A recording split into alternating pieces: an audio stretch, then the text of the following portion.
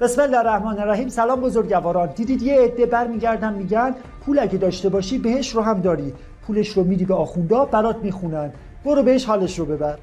نه عزیز من اولا بیشتر اهل جهنم پولدارهایی هستن که حق مردم رو خوردن لا به فقرا کمک نکردن و مثل قارون اومدن پولدار بودنشون رو هم به رخ مردم کشیدن. دوما اونی که نماز نخونده از قصدا اگه 7 میلیارد جمعیت کره زمین هم به جاش نماز بخونن پذیرفته نمیشه. مگه بچه بازیه؟ هر کسی مسئول عمل خودشه. امام محمد باقر علیه السلام میفرماید ان نتار کل فریزت کافرون. به کسی که نماز واجب رو ترک می‌کند کافر است. شاعر چه قشنگ گفته شیطان که رانده گشت به جز یک خطا نکرد.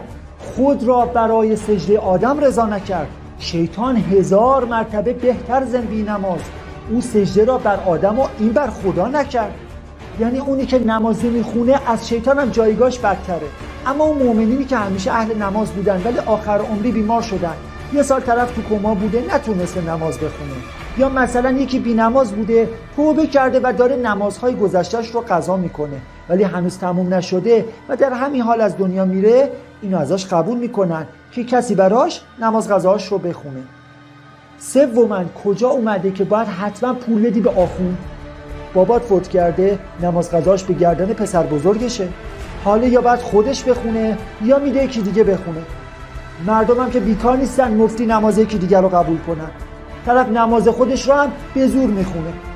هیچ کسی هم نگفته که حتما باید طرف طلبه باشه. اما چون مردم دیندار می‌دونن قرائت نماز طلبه ها تر از اغلب مردمه خیالشون راحتتر و لذا به اونها میسپارن. نه که ما بیام زورکی بگیم آقا بده به من بده به من. بعد میان به ما فوش میدن و تهمت می‌زنن که شما هم مثل کشیش ها بهش فروشی می‌کنید. این هم مزد ما.